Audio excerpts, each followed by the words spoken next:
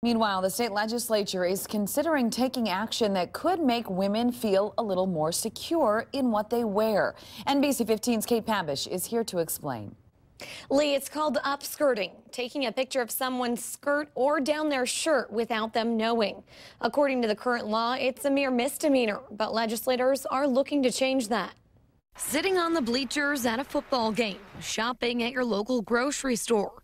Some of the last places you think to watch for predators.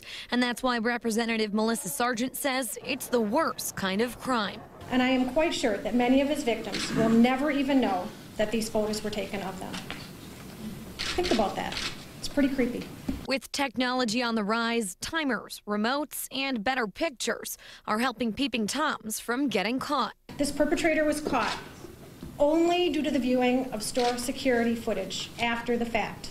If a person is out in public say, standing in a grocery store line, that they wouldn't have an expectation of privacy. Well, we normally wouldn't have an expectation of privacy, but I think under our clothing, regardless of where we are, we have an expectation of privacy. The law, if passed, would make it a Class I felony, punishable by up to three years in jail for taking a picture of someone's butt, breasts, genitals, or body without their consent. This bill solves a problem that has plagued prosecutors for about 22 years. The vagueness of our laws, specifically our statutory definition definition of nudity and the opaqueness or presence of an undergarment has left legislative loopholes, allowing upskirting offenders to go unpunishable for these atrocious violations of personal space and privacy. What reasonable distinction does it make to a victim to say, this captured your thigh, this captured your midriff, but this did not capture that portion of the body that the legislature has defined as nude. The bill still has a long way to go before becoming law, but it has bipartisan support